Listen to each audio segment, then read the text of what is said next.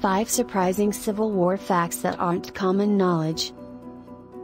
The proclamation signed by President Lincoln on January 1, 1863, did not ban slavery. Before the Emancipation Proclamation, non enslavement states were obligated by the Fugitive Slave Act of 1850 to return the fugitive enslaved to their owners. The Emancipation Proclamation signed by President Lincoln is widely regarded to declare slavery illegal, while in reality it was meant to punish the Confederate States. It was a move used by the government to fundamentally transform the character of war by allowing all ethnicities to join the fight for the Union. Union General William Tecumseh Sherman was originally demoted for insanity. General William Tecumseh was a teacher, businessman, and author who became a hero of the Union Army. He led the Army to many victories, while also contributing to the re-election campaign of President Abraham Lincoln.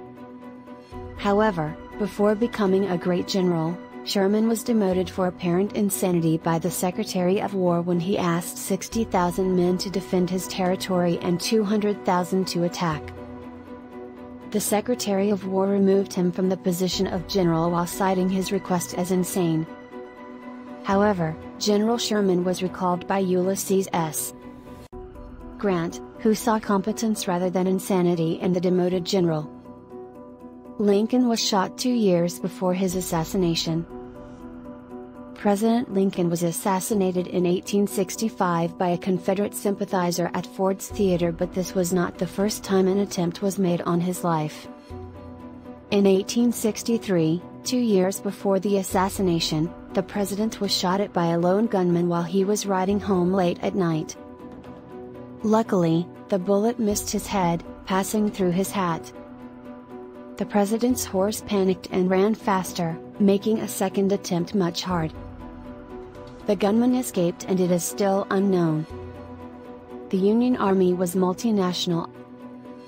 The Union Army which fought against the Confederate States in the Civil War was a multinational one, including soldiers from different regions and countries. Irish soldiers made up 7.5% of the Union Army, plus there were soldiers from Germany, France, Italy, Poland, England, and Scotland.